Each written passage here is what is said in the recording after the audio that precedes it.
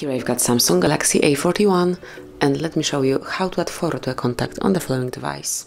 So at first you have to open your phone other, then go to the contacts and now choose the contact that you would like to add this profile picture to. In my case it's Rita, then tap on eye icon and smoothly by tapping on the camera tab you can change the profile picture.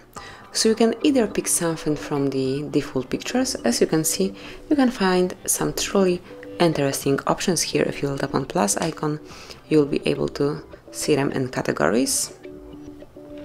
It can be even tennis or anything or some animal, it's up to you. But you can also pick something from your gallery, so let me just cancel this option and now tap on gallery right here.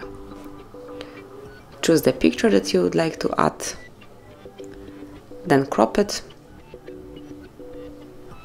tap on done finally, if you like the effect, just tap on save. And that's it. You've just assigned this picture to your contact and anytime Rita will be calling you, you'll see this profile picture. So this is it, that would be all. Thank you for watching, please subscribe our channel and leave the thumbs up.